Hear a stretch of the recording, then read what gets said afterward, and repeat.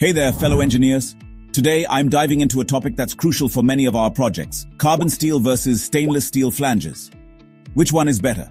Let's break it down. First up, carbon steel flanges. Carbon steel is known for its strength and toughness. It's a go-to material when you need something that can handle high stress and heavy loads. It's also relatively cheaper compared to stainless steel, which can be a big plus if you're working with a tight budget. But there's a catch. Carbon steel is prone to rust and corrosion, especially in moist or acidic environments. So if your project involves exposure to these conditions, you might need to think twice. Now let's talk about stainless steel flanges. Stainless steel is like the superhero of the metal world.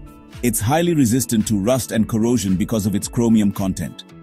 This makes it perfect for use in harsh environments like marine applications or chemical plants. Stainless steel also has a longer lifespan, which can save you money on replacements and maintenance in the long run. However, this durability comes at a cost. Stainless steel is generally more expensive than carbon steel, which can be a deal breaker for some projects. So, how do you decide which one to use? It really depends on your project's specific needs. If you're looking for something cost-effective and handling high pressure, carbon steel might be your best bet. But if you're dealing with corrosive environments and need something that will last, stainless steel is the way to go. Let's summarize the pros and cons quickly. Carbon steel flanges. Pros strong, tough, cost-effective. Cons prone to rust and corrosion. Stainless steel flanges. Pros corrosion-resistant, long-lasting. Cons more expensive. Remember, there's no one-size-fits-all answer here.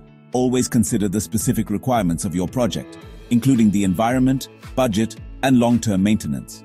Thanks for sticking around, and I hope this helps you make the right choice for your next engineering project.